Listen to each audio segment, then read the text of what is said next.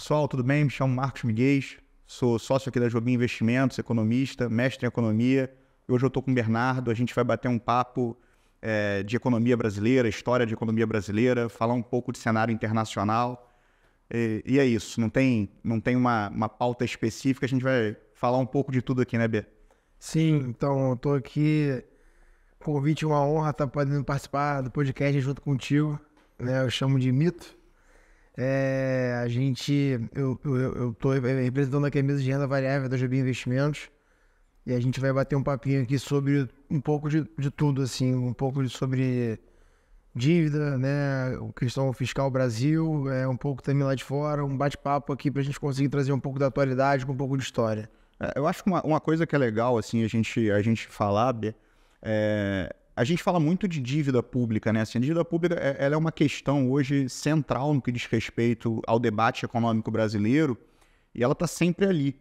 É, eu acho que é legal a gente dar um passo atrás e rapidamente falar como que a gente construiu essa dívida, né? É, hoje a dívida é um elefante gigantesco numa sala, mas ela em algum momento ela já foi ali um, um baby elefantinho e foi crescendo. E aí, rapidamente, assim, a gente, quando retorna lá para o Brasil no começo dos anos 90, o Brasil pós-plano real, a gente tinha alguns desafios muito claros no que diz respeito à dívida pública, né? O Brasil, entre 46 e 94, teve sete moedas diferentes. E aí chega em 94, tem o real. Ou seja, a maioria das pessoas, ninguém queria contrair dívida em real. Né? Porque o seu país toda hora muda de moeda, como é que eu vou comprar títulos nessa moeda? Então o Brasil ele começa a construir a dívida dolarizada. E na época, o debate político era ainda mais acalorado do que é hoje, tão acalorado quanto. É, a gente tinha uma oposição política na, na, época que questionava o pagamento da dívida. Ah, quando eu for eleito, eu não vou pagar a dívida. E aí, ou seja, a dívida já tinha uma pressão para ser em dólar e, ao mesmo tempo, a dívida tinha uma pressão para ser de curto prazo. Porque você não podia estender, porque se o, se o outro ganha, ele não me paga. Então, a dívida dolarizada, uma dívida curta, e uma sociedade, eu acho que isso é um aspecto legal, que passou por uma década de 1980 de muito empobrecimento, né? Foi uma sociedade, a década perdida, que ficou conhecida depois, e aí fez uma constituição no final dos anos 80, e aí é, a sociedade tinha muita pressão por gastos, né? Eu acho que até um parêntese aí é muito devido ao fato da inflação cavalar que existia no momento, né? Então, assim, naquela época as pessoas não tinham nenhum conceito com relação a guardar dinheiro, não tinha incentivo para, porque na verdade, com uma velocidade que a inflação evoluía diariamente, o, o povo brasileiro tinha como característica consumir, né? E gastar grana, né?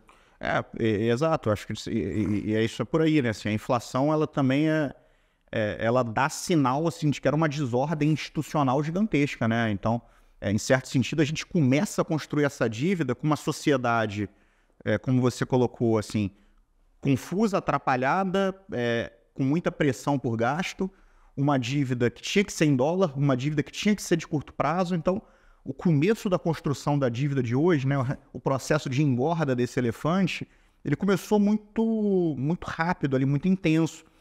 E aí o Brasil, ele, chega ali no final dos anos 90 e começa a, a, parecer que vai dar certo. Assim, porque a gente enfrenta ali é, uma série de, de de crises internacionais, crise no México, crise da Rússia, crise na Argentina, e, e toma medidas muito drásticas para conter a moeda, né? Então, assim, é, logo se percebeu que o real era uma moeda diferente das anteriores, é, então essa questão monetária parou de ser um negócio tão problemático.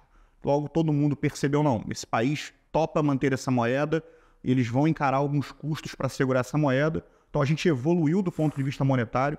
A gente evoluiu do ponto de vista político. Né? Ali no ano de 2000, 2003, é, assume, acaba o Fernando Henrique II, começa o Lula I. O Brasil fez uma transição política muito organizada, a política econômica continuou praticamente a mesma. Então, aquela história de que não vou pagar dívida e não sei o que, do contrário. O primeiro governo Lula até aumenta as metas de arrecadação. É, então, foi, foi um período ali muito é, organizado, né? o que para nível Brasil já é muita coisa. E o que a gente não fez ao longo da década de 90 foi enfrentar essas questões sociais. Todo mundo sabia que o Brasil precisava fazer uma reforma da Previdência. Nos anos 90 sabia. Todo mundo já sabia disso. Mas a gente não fez. E como é que você fecha a conta de uma sociedade que quer gasto, mas ao mesmo tempo a sociedade não quer encarar certos problemas. É, eu, Tributa todo mundo, né? eu acho que um ponto que é interessante aí nessa discussão é que é, essa necessidade de reforma da Previdência ela já se fazia muito claro na época de. Né, ali na década de 90, porque você, na verdade, já começava a ter um- um- uma questão de uma duração, né, um, um aumento da expectativa de vida. É, é, né, estava caminhando a passo de que né, a qualidade de vida do Brasil tava, tinha aumentado, né, você tinha um poder de compra um pouco maior, então naturalmente você tinha um investimento, um gasto qualificado talvez em saúde, com isso se aumentou expectativa de vida, com isso a base da pirâmide começou a se inverter e aí você começou de fato a engordar de forma, vamos dizer assim, dar doses maiores de comida para esse elefante, né? Eu acho que é esse desse termo que a gente tem usado aqui agora. Você começou a alimentar ele com um nível de comida maior, porque você começou, na verdade, a ter uma previdência que ela tinha, né, vamos dizer, parado no, no passado, né? no- no- numa figura de pirâmide etária completamente diferente do que estava se apresentando agora. E aí eu acho que esse ponto você tocou perfeitamente. É, e, e o boom demográfico também, né? Assim, eu acho que é. o- o- os anos. Até os anos 50 ali, o- as famílias brasileiras tinham muitos filhos, né? Quatro, cinco filhos. Então, nascia muita gente. E isso, um pouco depois, até em função da, da piora do cenário econômico, do descontrole, descontrole da inflação, as famílias começam a ter menos filhos, né? Então, assim, e essa turma que nasceu lá atrás, ela vai precisar ser sustentada. É, esse boom demográfico mundial. O mundo inteiro fez reforma da Previdência ali nos anos 90. Sim. O Brasil sabia que tinha que fazer. E optou por não fazer.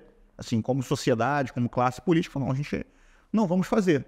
E aí a gente sai de uma carga tributária que era ali 22, 23% do PIB em começo dos anos 90 e ela vai até um terço do PIB, até 33% do PIB, é, assim, em uma década, né? Então a forma que, que a sociedade arrumou de fechar a conta era tributar todo mundo, né? Sim. Então assim, foi- e é engraçado que esse recorte ali, final dos anos 90, começo dos anos 2000, eu acho que do ponto de vista institucional, né, assim, eu diria de 98 até 2005 ali, é, é um recorte institucional bom para o Brasil, do ponto de vista econômico, sabe? Relevante, né? é, é, é bom, assim, né? O Brasil fez algumas coisas, é, medidas importantes, né? Assim, criou o, o tripé econômico, né? Sim. De, de superávit, câmbio flutuante, meta de inflação, é, os tribunais independentes de, de Tribunal de Contas, e, enfim, uma série de, de avanços ins- institucionais, mas não soube lidar com a dívida. Assim, ah, vamos, é, é problemático, é, mas depois a gente vê isso, né? Então,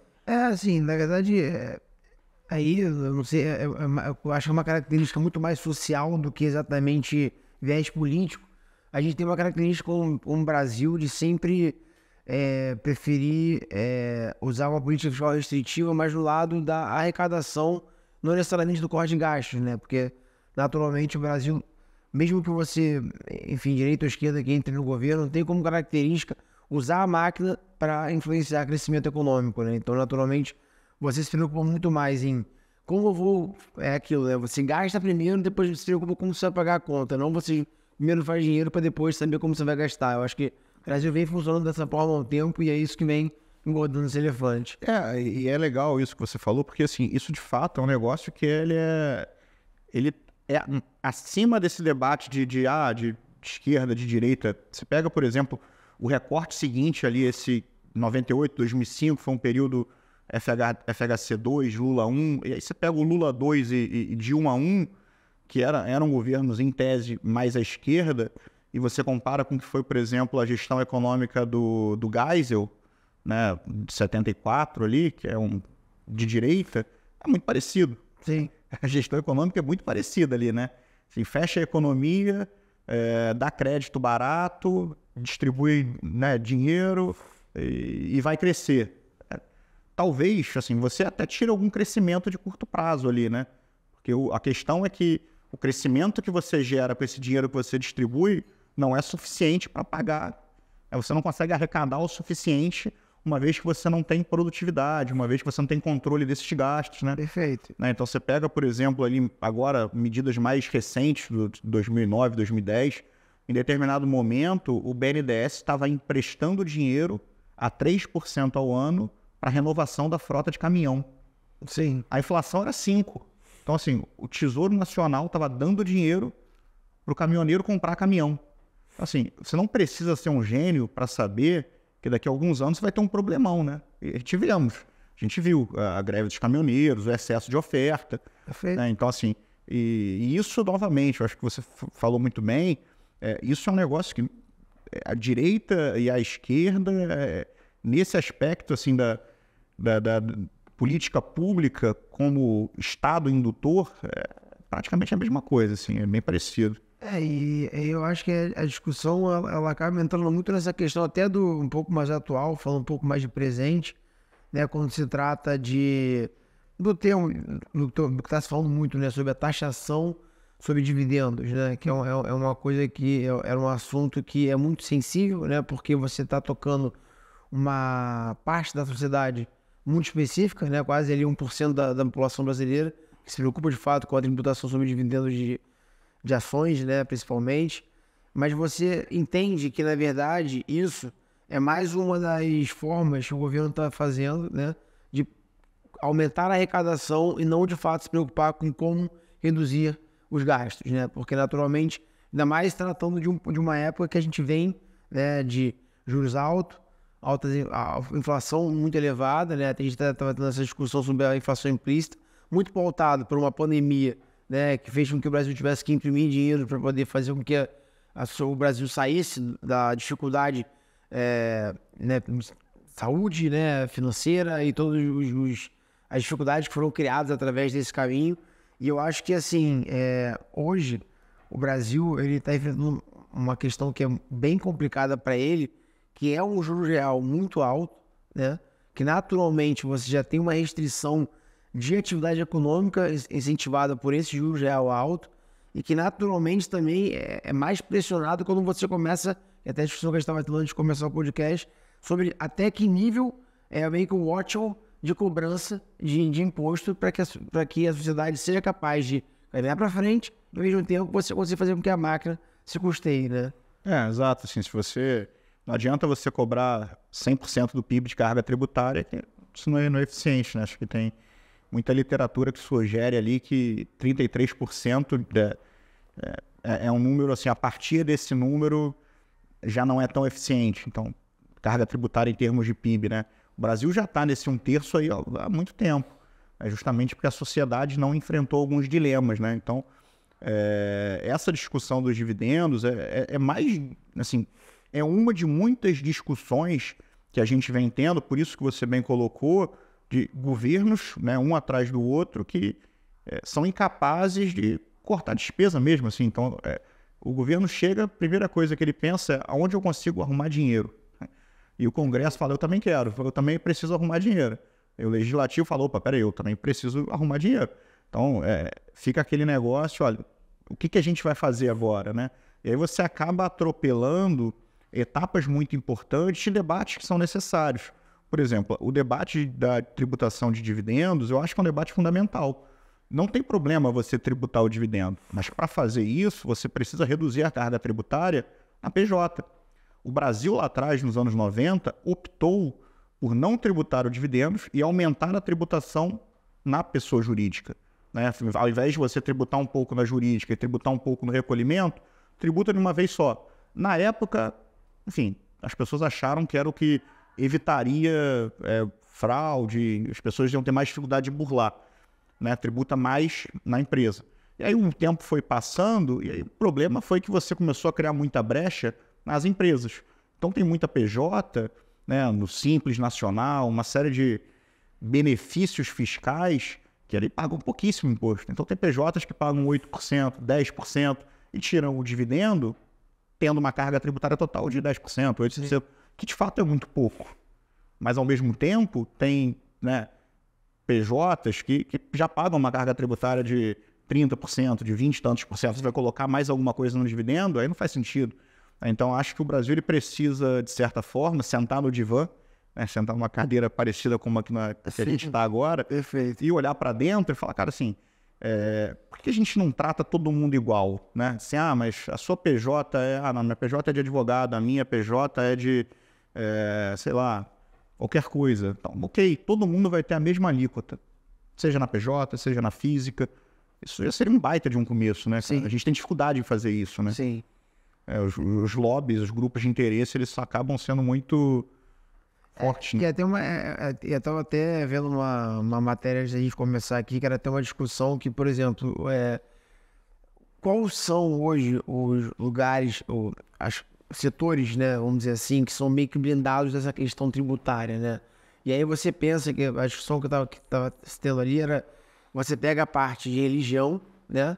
Porque esse lobby de religião, ele é uma coisa né, muito sensível, só que o que acontece é que, é, vendo um especialista explicando que, na verdade, a, a, a confusão em relação à tributação disso é porque muitas das vezes você pega um- uma casa de um padre que seja, bota no nome da igreja, você eh, numa transferência de, de recursos, você isenta aquilo ali de, de uma tributação, sendo que não é diretamente o dinheiro, o recurso que é de fato Filantrópico, né? Exato. Então, assim, é uma coisa que você. é, aí, só, nesse, só nessa questão dessa, vamos dizer, manobra fiscal que é feita, você já gera é, uma, um, um, um de quase um bi. Então, assim, é, é- é um movimento que você começa, é assim. E aí, aí, o outro ponto que eles estão tocando agora, tem mudança sobre dividendos, aí você vê é- uma coisa que é muito verdade. Por que, que a gente não tenta fazer uma coisa que seria uma unificação, né? É que de fato você conseguiria fazer com que dessa forma ficaria mais simples e o jogo e aquele o jogo jogado com a regra explicada antes dele começar. né? Aí- aí, exceção é um negócio que, assim, pro Brasil é extremamente perigoso. Sim, Porque você dá uma exceção, a analogia que eu faço, eu acho que ela é é bem clara, é o seguinte: a água, né? Você imagina uma laje tem, cheia d'água, a exceção é um furinho que você faz. Fez um furo nessa laje. Daqui a pouco toda a água está escorrendo por esse furo que foi feito. No Brasil é exatamente isso. Sim. Você faz a exceção com a melhor das intenções. Daqui a pouco está todo mundo enquadrado nessa exceção. Ou abre uma brecha, alguma jurisprudência para que essa exceção se expanda. Né? Então você pega, por exemplo, ah, é, de fato, os templos religiosos ou as entidades religiosas, elas precisam ter. Tudo bem, mas aí chega um momento que as entidades religiosas controlam bancos, controlam empresas que faturam bilhões. Por quê? Porque, em tese, é só você botar o CNPJ como uma entidade religiosa. sim, É exceção. Então, assim, é, eu acho que a sociedade brasileira, esse sentar no divã da sociedade brasileira, passaria por acabar com as exceções. Acaba com a exceção. Tá? E, e nesse sentido, eu acho que a gente avançou bastante numa discussão de reforma tributária, é, que já vem sendo discutida há muito tempo no Congresso. É, tem que ver o que, que vai sair, mas a primeira etapa que foi votada parece muito positivo, que é unificar mesmo, né? Assim, é você, de fato, tratar todo mundo igual. Devia ser um negócio razo... né? Um negócio que, em tese, era para ser bem simples. sim, É, se você cobra a mesma, ah, eu, eu sou produtor agro, ah, eu sou construtor, eu sou médico, independente do, do que você faz, se a sua alíquota for igual, todas, e não há nenhum tipo de exceção, cara, legal, isso é, isso é super eficiente do ponto de vista econômico. E aí, quer fazer política econômica? Ah, mas isso é injusto porque os mais pobres vão ter dificuldade. Cara, política pública não se faz tributando. Transfere dinheiro para as pessoas. né? Ao invés de fazer um monte de distorção tributária, cobra igual de todo mundo. Ah, mas fulano de tal é mais pobre. Ok, transfere dinheiro para ele. Não distorce o sistema tributário inteiro. Entendeu? É mais eficiente fazer dessa forma. Só que a- aqui a gente tem, de fato, uma, uma sociedade e, e grupos organizados, né, assim, públicos e privados, que são que, que influenciam muito ali no, no centro de, de decisão de poder e tal. Então, isso acaba dificultando esse tratamento homogêneo, né? O que é uma pena. sim, é, é, é, é, é, vira uma coisa de detalhes, né? E- Por uma coisa que você próprio falou, a transferência de recursos seria algo que seria de fato muito mais simples, né? E aí de novo a gente volta na questão, né? Quando você porque mal ou bem aí vai um pouco além dessa discussão, né? Quando você pensa em elemento de expectativa, né? Toda essa questão que a gente pensa em macroeconomia, isso fica muito desancorado quando você tem um, um, um, um sistema fiscal que é, ele é complexo para qualquer entendimento, né? E você acaba fazendo isso, bom, você falou, para fazer, né? Você tentar não sobrecarregar os mais, os menos favorecidos, só que você de uma, de uma certa forma você complica demais uma coisa que era para ser um simples, né? né? E, e aí eu acho que a gente, no- um pouco além dessa discussão, né? Falando um pouco também lá de fora, assim, né?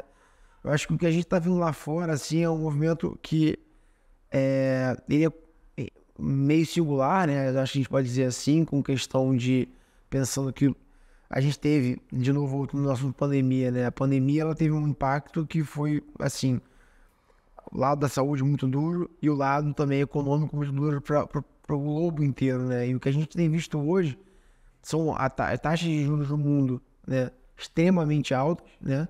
É, você tem Estados Unidos aí buscando a máxima histórica, né? E, e Europa, a zona do euro, enfim, é, e, e, muito pautado numa coisa que é uma discussão que é assim, é, você não consegue fazer um país é, crescer através de impressão de grana, né? Esse é um conceito macroeconômico que né, a gente sabe muito bem, né? semestre, eu fiz economia também, a gente sabe que, cara, a dificuldade que é, é a dificuldade não, desculpa, a, a, a, facilidade que é você complicar o seu crescimento se for através de uma emissão monetária, né? E, o que a gente, e a gente está falando dos Estados Unidos, que é assim, né, o país que consegue vender mais moedas possíveis, né? Ainda mais em cenário de estresse, como estava o mundo, né, de uma crise. E o que você vê, na verdade, é que eles estão é, pagando né, muito caro pela, pela demora que tiveram na decisão monetária, né, de você subir a taxa de juros, por talvez não entenderem o fenômeno inflacionário como nós brasileiros entendemos, né, não terem a experiência vivida como nós temos, porque a discussão é muito ampla, se a gente para não pensar só em mercado, porque imagina você pegar um americano tendo que entender que ele não vai consumir um produto novo, que ele não vai trocar a televisão dele, que ele, que ele não vai fazer uma, uma nova hipoteca para trocar alguma coisa que ele queira, ou seja, manter o lifestyle, né, né, o, continuar gastando, porque ele vai ter que, na verdade, começar a cortar o estilo de vida dele. Isso para um brasileiro é muito fácil de explicar. Se o brasileiro falar, você, ah, você vai, não vai poder comprar mais isso, aquilo, vai trocar um pouco seu, seu, né, seu nível de gasto. Para um, um povo como o americano, fica muito difícil o cara entender o que ele, que ele vai ter que deixar de fazer, porque tá juros está em 5, entendeu? Então, assim, eu acho que essa discussão e até queria que você trouxesse um pouco para a gente assim, é, o que, que, que, você acha assim que, que são os próximos passos assim que vão ter assim, assim plano agora de, de mundo assim? Legal.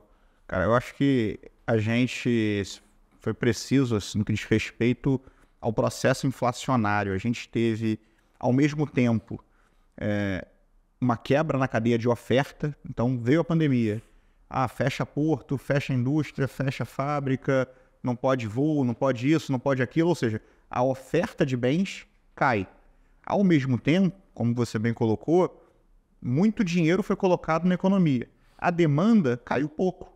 Por quê? Porque todo mundo recebeu dinheiro. O americano recebia cheque, o brasileiro recebeu transferência, todo mundo, o mundo inteiro. Então você tem uma demanda que ficou igual ou até subiu em alguns casos, como foi o nosso caso brasileiro aqui. A demanda sobe, uma oferta que cai, isso por si só já joga preço para cima e uma guerra que começou ali ainda no, no meio dessa confusão. Começa uma guerra que joga preço de alimento na Rússia e Ucrânia, joga preço de alimento para cima, joga preço de energia lá para cima. Então a combinação desses fatores levou uma inflação de dois dígitos na Alemanha, nos Estados Unidos, no mundo inteiro, no Brasil, no mundo inteiro. É, todo mundo ficou com muita inflação. E para combater essa inflação, você teve que subir a taxa de juros. É, você sobe muito a taxa de juros. O Brasil, é verdade, fez isso muito bem, começou antes, subiu bastante, foi muito rígido. Os países desenvolvidos demoraram um pouco, mas também subiram. E aí agora a gente começa a ver as inflações de fato convergindo para onde elas deveriam convergir, né? Eu acho que assim de, de cenas dos próximos capítulos é, que a gente espera é, é, é um ambiente de melhora, de deve ter alguma desaceleração econômica nos Estados Unidos, principalmente, e é desejável que tenha, porque a inflação ela precisa desacelerar. Só que a economia não pode parar totalmente, né? ela tem que desacelerar. Né? Ela também ela não pode continuar na velocidade que está, tampouco ela não pode parar. Ela tem que ter um pouso suave, né? o termo que o pessoal tem usado muito. O soft landing. O soft landing, né? Então, assim, você tem que ter esse pouso suave, essa desaceleração continuada e uma inflação também que vá caindo devagar pelo que parece, isso está acontecendo. A gente está vendo isso de fato acontecer.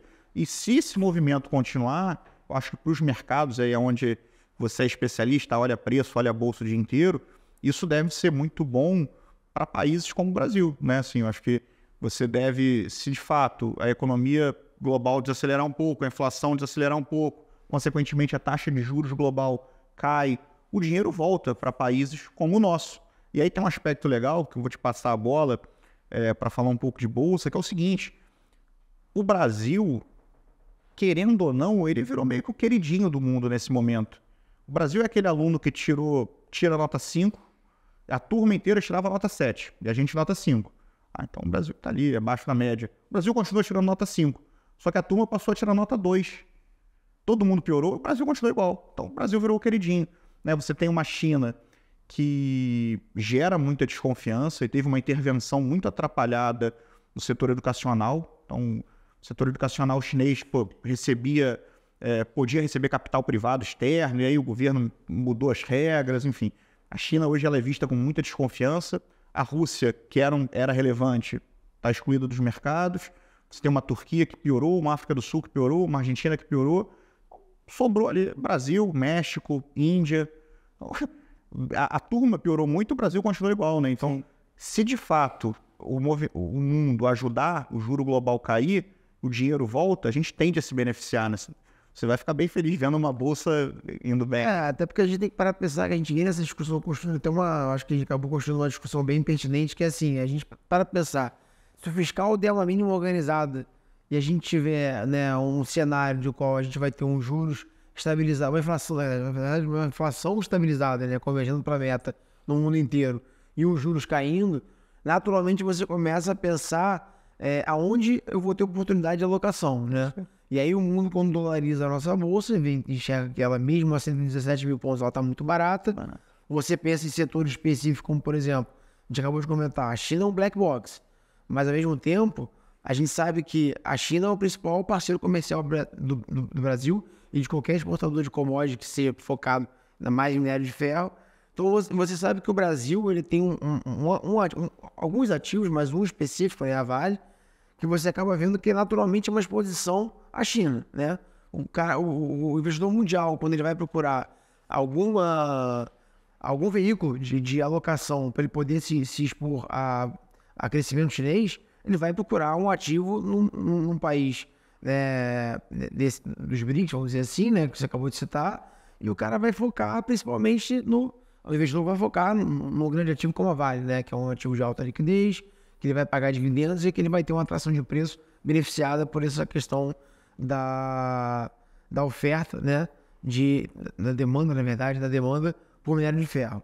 A questão toda que eu acho é que a gente vai enfrentar alguns é, percalços no meio desse caminho, né? Que é, por exemplo, é, quando a gente para pensar em Brasil, a gente pensa que o Brasil é um mercado, é um mercado muito pequeno perto do mercado mundial. Então, ao longo desse processo de desaceleração da economia americana, para que ela chegue nesse ponto que você tocou no soft landing, que seja uma aterrissagem calma, eu acho que nesse meio do caminho a gente vai ter algum, alguns descasamentos de interpretação de curva, que vão fazer com que a curva dê uma balançada e o Brasil balança, acaba balançando mais do que o resto do mundo com isso. Mas a convergência que eu vejo hoje é de basicamente o, o mundo começando a desacelerar em, em relação a toda a atividade econômica, inflação, juros, e você começando a ter um, um canhão apontado mais para a bolsa, né? Porque naturalmente você vai deixar de ter o que a gente tem visto hoje, né? Que é esse cenário do cliente ter aquele mais ou menos aquele 1% ao mês garantido, para o cenário que ele vai ter que buscar alguma coisa um pouco mais de risco pensando em bolsa. Mas eu, eu acho que a boa notícia que a gente vê é que, de novo, né, o Brasil ele, ele acaba sendo queridinho, né? Porque, como você bem comentou, o mundo tirou nota 2, o Brasil está com nota 5. E naturalmente o que a gente vê é que o Brasil ele é sim um veículo de exposição é, que está barato. Né? Então, assim, o que você vai pensar hoje, mesmo os Estados Unidos subindo os juros, ele, a gente pega um S&P quase na máxima histórica. Né? Então, assim, você tem uma bolsa muito cara lá fora. E hoje você tem um benefício de um carrego estatístico muito grande aqui no Brasil, pensando em ações blue chips com pagamento de dividendos né, cavalares e com uma capacidade de ganhar preço é, em, no espaço de, tempo menor do que você teria lá fora. Então, acho que a correlação de Bolsa Brasil hoje está muito, tá muito favorável, sabe? Legal, não, isso com certeza. Eu acho que vale. Tem outro aspecto, mudando um pouco o assunto, mas que é legal a gente falar, que permeia ali esse debate econômico, que diz respeito, a gente fala muito de juros, juro, taxa de juros. É, é uma compreensão que ainda é simples para gente que está aqui olhando, mas para muita gente não é. Eu acho que é importante a gente falar. Taxa de juro é um preço. É um preço. Sim. Taxa de juro não é um negócio que assim, ah, alguém escolhe quanto é. Taxa de juro ela é tão simples quanto é, uma decisão de por quanto que eu vou emprestar dinheiro para o tesouro desse país. Né? Se eu tenho certeza que esse país vai me pagar, que a moeda é confiável, não tem risco nenhum, eu topo te emprestar tesouro. Por pouquinho, me devolve, vai, 1% por ano. Eu sei que você vai me pagar, não tenho medo. Essa moeda que você emite é confiável, você nunca deu calote em ninguém, né? você é, é sério, eu confio nas suas instituições, devolve 1% ao ano, tá tudo certo. Agora, eu tenho certeza que ele não vai me pagar, tenho certeza que essa moeda pode não existir daqui a pouco, eu tenho certeza que essas instituições não funcionam, eu não vou cobrar 1%, eu vou cobrar muito mais caro. Né? Então, acho que essa, é, é, esse entendimento, né, para quem não é aqui do mercado, é fundamental. Porque, assim, a taxa de juro é, é somente isso. É o equilíbrio entre oferta e demanda de por quanto as pessoas emprestam dinheiro para o tesouro. É tão simples quanto isso. Né? Assim, não, é uma, não adianta você dar uma canetada, você subir no palanque e gritar. Isso não vai resolver a taxa de juros. A taxa de juros ela vai ser resolvida quando os, todo, todo mundo, a sociedade, topar emprestar dinheiro ao tesouro. É um custo menor. Sim. E por que ela faria isso? Porque ela vai confia que o tesouro vai ser capaz de pagar ela. Né? Então, é, eu acho que esse, esse aspecto é muito legal do debate econômico é a gente trocar isso em miúdos aí para que é, mais pessoas tenham acesso a essa informação. Com certeza. E, e, você tocou num ponto que é muito importante, que assim, você... É, e aí entra numa discussão que... Ah, é, essa questão de, de, que a gente tocou de algum, alguns momentos daqui do podcast, que é sobre essa questão de alinhamento de expectativa, né? O alinhamento de expectativa ele é muito pautado também nessa questão. Por que que por que você chega a uma taxa de 3,75? Né? E como você também faz ela voltar a uma taxa de 6 e pouco que seja? Isso é muito voltado em confiança. Né? A confiança é o que constrói esse preço que você acabou de falar. Né? E aí, muito bem falado por você, por que os Estados Unidos, por exemplo, tinha uma taxa de zero? Por isso, porque você sabia que era uma, uma economia que era, assim, não, não dá calote, uma moeda forte, que já está milênios dentro dessa estrutura, dessa forma de levar como, como leva. Então, assim, e aí, o, e aí, só que aí também, quando você vê um cenário de que é, lá teve um estresse né, é, financeiro muito pesado, né, com relação até né, alguns poucos bancos, mas até um risco de crédito muito, muito, muito assim, você começa a, a, a, até na economia que você confia muito a, pedir um, um, um, preço maior. O risco só, né? Só que você, naturalmente, quando faz isso, você pega o dinheiro do mundo inteiro e bum, leva para lá. Leva para lá. Porque aí você tem uma economia que a gente sabe que ela vai pagar, mas ela está oferecendo uma taxa melhor, né? um, um preço melhor para isso. Né? É, perfeito. Taxa de juros é risco, né? Assim, é engraçado. A Suíça chegou a ter taxa de juros negativa. Você emprestava mil francos suíços lá para eles, eles te devolviam menos do que os mil. E eles nunca tiveram problema em financiar sua dívida. É, porque assim, a certeza de que eu vou receber. Ah, eu recebo um pouco menos, ok, mas eles vão me pagar. Sim. Né? Então, assim, impensável. Você pega nossos vizinhos aqui na Argentina, tem uma taxa de juros de 70%, tem uma dificuldade tremenda de arrumar dinheiro. Sim. Né? Porque não é só o valor que importa, mas sim é, a credibilidade, a confiança, né? É, eu acho que assim como no mercado, no nosso mercado, a gente lida com gente, o que sustenta tudo isso é a confiança, é o processo. E, o, e a confiança se constrói, né? Se constrói com resultados, se constrói com clareza, com transparência. Olha, errei, acertei, isso aí, é, eu acho que a economia, como ciência humana, é, tem, tem essa característica das expectativas, né, da, da, da confiança. É, eu, acho que assim, é, é, eu sei que é difícil te perguntar isso, mas eu acho que faz sentido. Eu acho que é uma dúvida que muita gente tem hoje, né? É, qual o viés que o dólar tem hoje? Qual você acha que é a direção que a moeda tem. É, eu não estou te pedindo um preço, não estou te falando, não estou te pedindo um range, eu estou falando assim, o que você acha, na verdade, com as características que estão se apresentando daqui para frente? O que você acha que é. acontece com o É assim, nós somos economistas, né? O depende sempre nos protege. Sim. Então, depende do que, que é prazo. O que, que eu acho, tá? Assim, acho que para prazos bastante longos, é, eu vejo o dólar ganhando força contra o real é, pelo seguinte, né? Porque a diferença entre as moedas, ela é, bem resumidamente, a diferença entre as inflações ali. É, se você acredita que o dólar vai ter uma inflação associada mais baixa do que a inflação associada ao real, naturalmente, com o tempo, o dólar vai ganhar espaço contra o real. Sim. Então, como eu acredito que, por mais que o Brasil ele venha melhorando ali desde 2017, principalmente 16, 17, o Brasil ele entrou numa agenda mais positiva, a gente tem perspectivas é, melhores ali para a nossa inflação. Mas quando você olha para frente, eu tenho mais tranquilidade de que, olha, a inflação dos Estados Unidos vai ser menor do que a inflação do Brasil. Pensando 10, 20 anos como reserva de valor. Então, por esse motivo, eu acho que o dólar vai ganhar espaço contra o real em horizontes mais longos. Agora, o curto prazo, ele, ele é muito ruidoso, né? Porque é, acaba dependendo das commodities, né? O Brasil, ele é uma grande fazenda, assim, de certa, certa forma, né? O Brasil exporta minério, exporta grão, exporta proteína animal. Se o preço desses ativos, desses bens, né, sobem, é, se minério está caro, se a carne, se proteína está cara, se grão está caro, entra um monte de dólar aqui, o dólar cai no curto prazo. Né? Então, assim, o, o, curto prazo ele depende de uma série de variáveis que são muito difíceis de serem previstas. Mas agora, estruturalmente, eu acho que é, é de se esperar o dólar ganhando espaço contra moedas emergentes. Eu acho que isso é, é mais ou menos consensual, tá? E aí, longo prazo é o longo prazo depende sempre nos protege. Sim. Mas o longo prazo eu acho que é aí falando de algo para 10. Mas aí, por exemplo, você acha aí pelo que você acabou de falar, então, por exemplo, a super safra que a gente passou agora faz parte, você acha do, do dessa dessa surpresa, vamos dizer assim, com relação a é, dólar real, né? Sim, a gente experimentou uma valorização do real recente agora e, e foi basicamente por isso, porque as commodities agrícolas, o preço delas subiu muito. O Brasil teve uma série de. teve uma super safra, teve.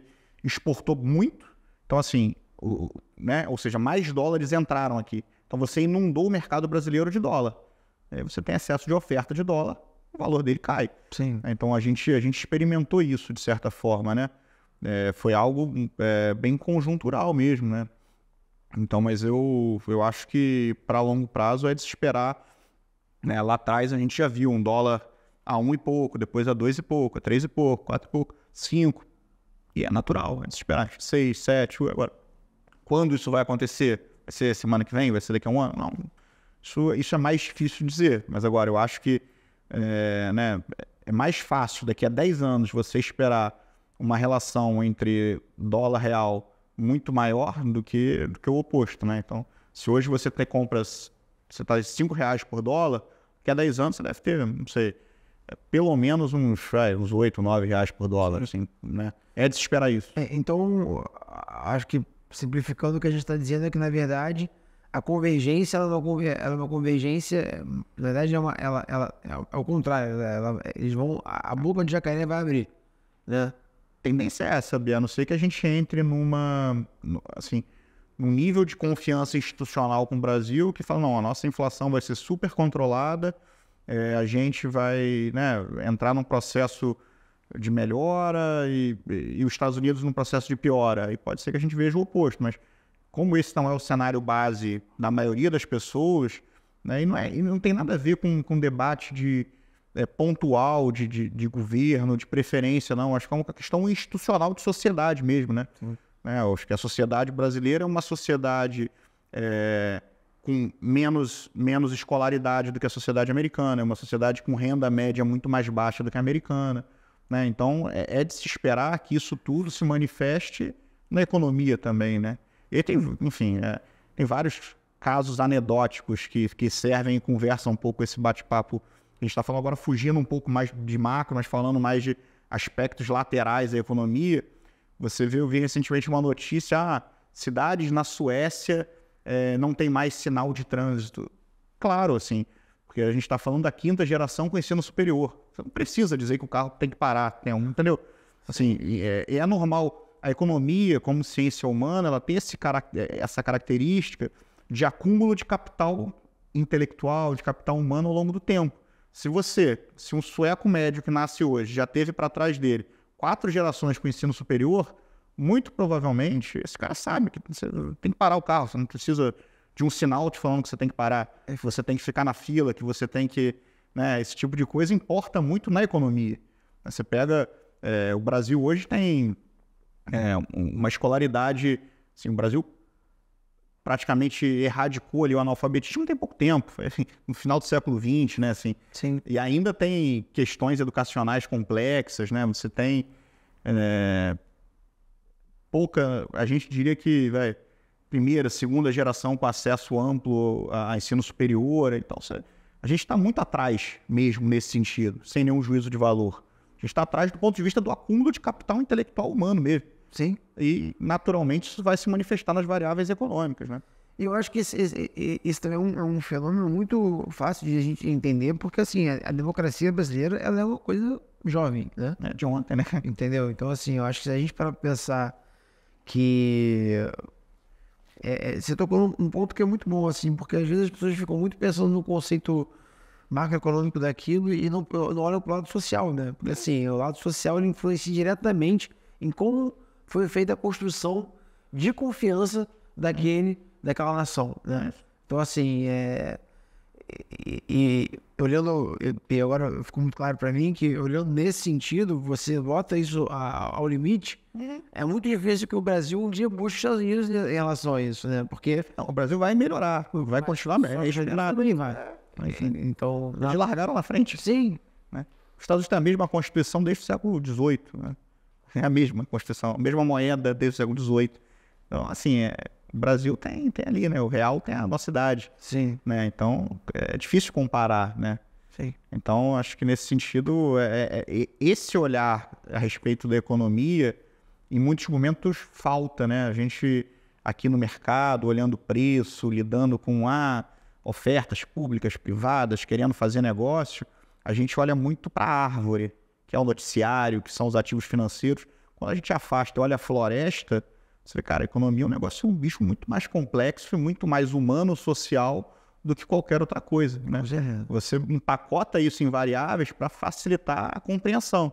Né? Aquilo que a gente estava falando agora, ah, a taxa de juro ela é um preço. É, ela é simplesmente um combinado da sociedade com, com o dono, né, com quem emite o dinheiro dessa sociedade. É só isso.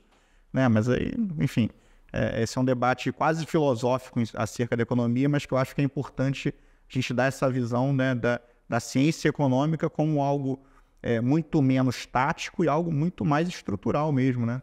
Uma ciência social de fato.